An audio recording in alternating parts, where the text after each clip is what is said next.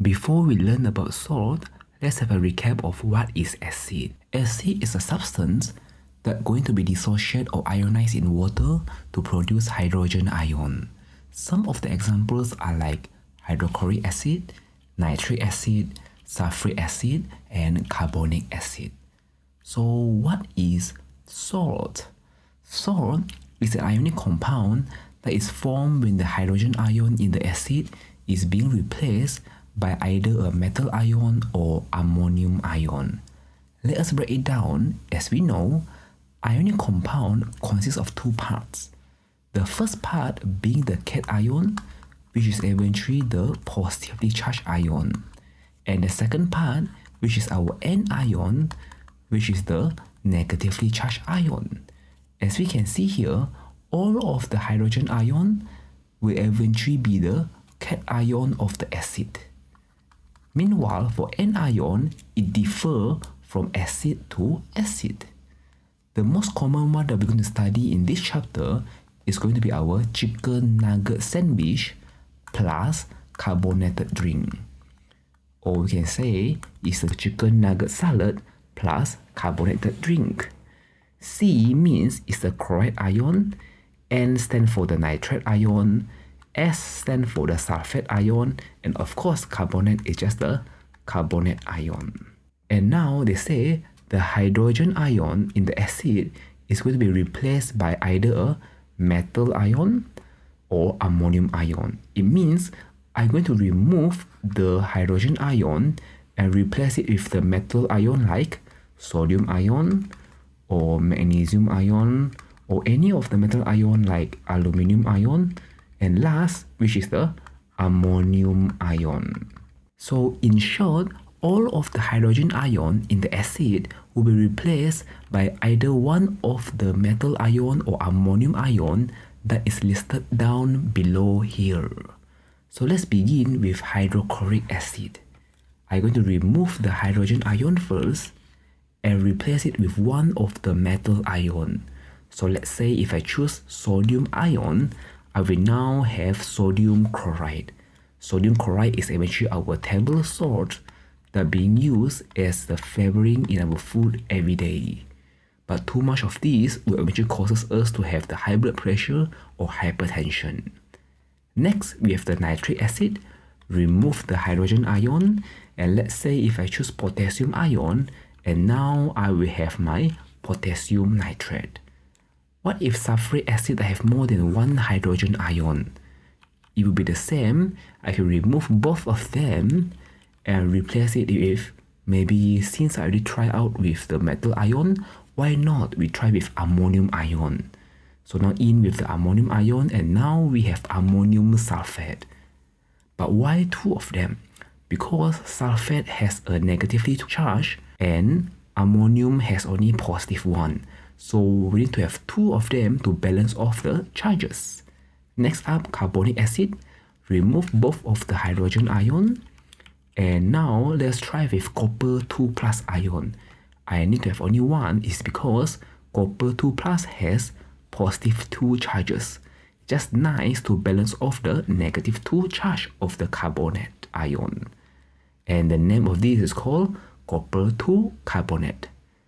So in these chapters, we're going to see a lot of the chloride salt, the nitrate salt, the sulfate salt, as well as carbonate salt. This is what we call as a chicken nugget salad or chicken nugget sandwich plus carbonated drink. Out of all of these salts, they are going to categorize in two main category. The first one being the soluble salt. Soluble salt is just a salt that can dissolve in water at room temperatures.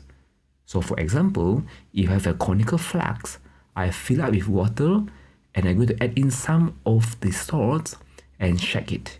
It will actually dissolve at room temperatures.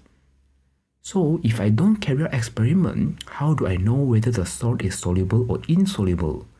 There are some of the rules that we're going to memorize.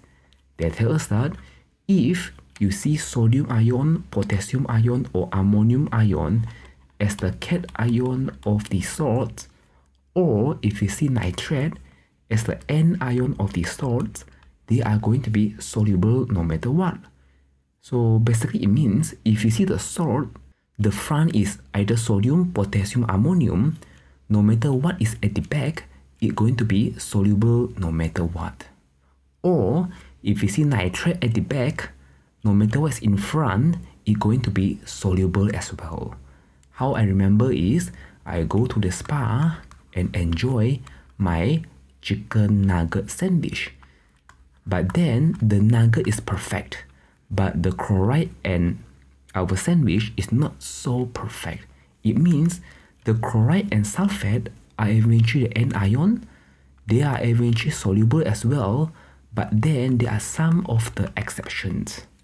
So chloride, all of them, no matter what is in front, they're going to be soluble, but some of the exceptions are going to be the mercury 1 chloride, silver chloride, and lead 2 chloride.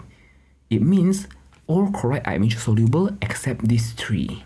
How are we're going to memorize is the new chap. It's the food that we eat every once in a while. So chloride salts are soluble except Hg, Ag, and Pb. Or you can think of children having another party.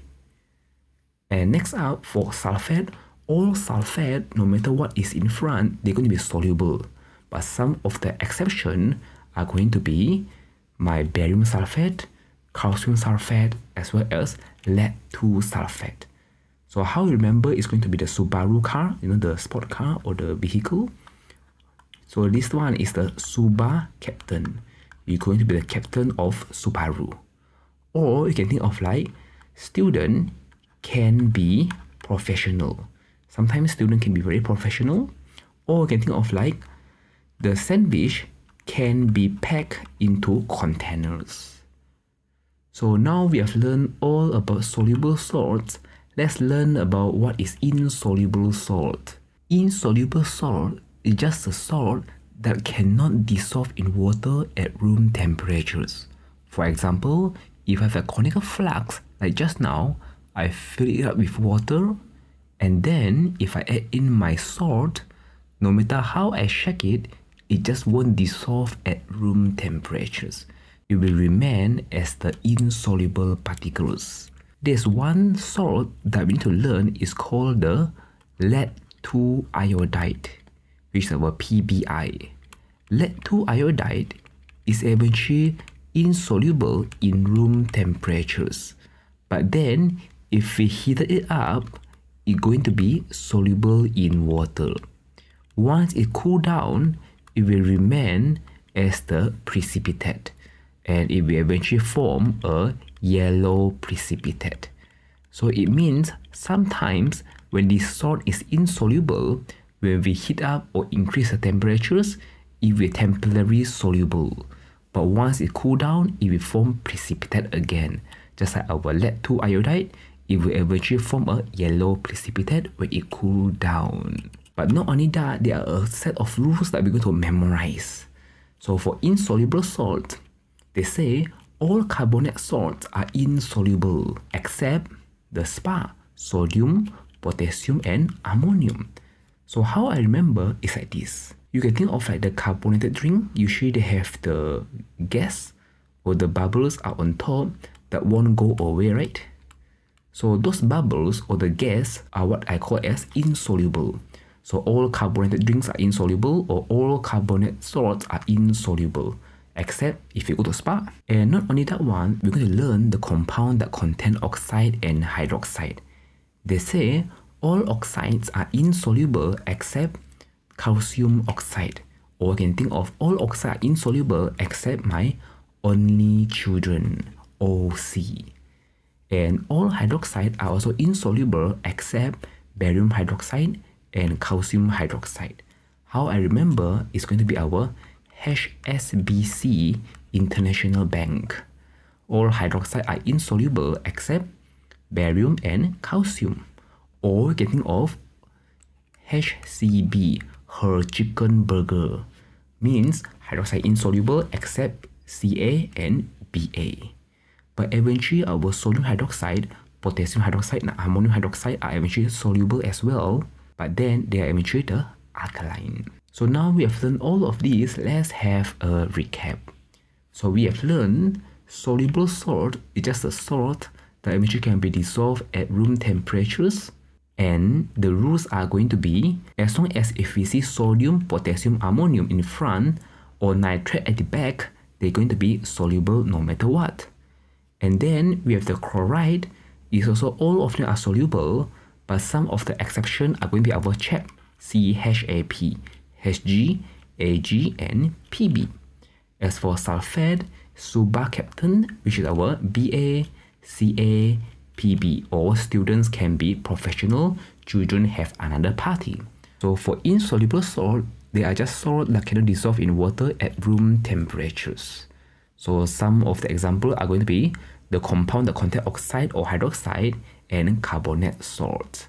So for oxide, all of them are insoluble except my only children, which is our calcium. For hydroxide, it's going to be our her chicken burger or HSBC bank BaCa. For carbonate, all of them are insoluble except our SPA, sodium, potassium, and ammonium. And next up, we're going to do some of the practice. And they say practice make perfect and we learn by doing. Pause the video and try by yourself. So just as a side note, we're going to put whatever that we have memorized onto the left hand side. So first, we have the silver nitrate. As we know, whatever end with nitrate is soluble. So for sulfate, there are some of the exception, which is going to be our subacaptant. So Ba, Ca, Pb are exception, which is insoluble, but they are not in the list, so they are soluble. All hydroxide are insoluble except her chicken burger, BaCa. So this is the exception, so this is soluble. All oxide are insoluble except my only children, Ca. But this is not Ca, so this is insoluble. All chloride are soluble except HgAgPb, our chap, or children have another party. So this is eventually exception, so this is insoluble. All hydroxide insoluble except her chicken burger, BaCa but this is not, so this is insoluble. All sodium are going to be soluble, all potassium are going to be soluble, and for chloride, there are some of the exception, and this is eventually the exceptions. So this is insoluble. So for hydroxide, again, all of them are insoluble except our her chicken burger, chicken burger. So Ca and Ba are exceptions. so these are soluble. Whatever end with nitrate is soluble or start with potassium is soluble. For chloride, all of them are soluble except these three, but magnesium is not the HAP, so this is good enough. So this is soluble. Whatever start with sodium is soluble. Calcium oxide, so all oxide are insoluble except my only children, which is Ca. So this is Ca, so this is good enough. Whatever end with nitrate is soluble. For sulfate, all of them are soluble except supercaptan or we can say sandwich can be packed or student can be professional which is BACAPB. So this is exception, so this is insoluble. Chloride, all of them are soluble except HgAgPb and Ag is insoluble. All oxide are insoluble except our only children. This is not the only children, so insoluble. All carbonate are insoluble except SPA, but this is not SPA, so insoluble. Sulfate, all of them are soluble except BaCaPb. This is on the list, so sorry, this is insoluble. Whatever end with nitrate will be soluble. Whatever start with ammonium will be soluble. So for chloride, all of them are soluble except HgAgPb. But this is not, so this is good. So this is going to be soluble. Whatever oxide will be insoluble except my only children which is calcium. But this is not calcium so this is insoluble. So hopefully you get everything correct and let me know in the comment. Hey, if you have any questions or would like to see any kind of video, leave your comments below and let me know. If you want to support us so that we could make more video like this, the simplest way is just by sharing the video with your friends. Click the like buttons and consider subscribe to this channel. See you in the next video.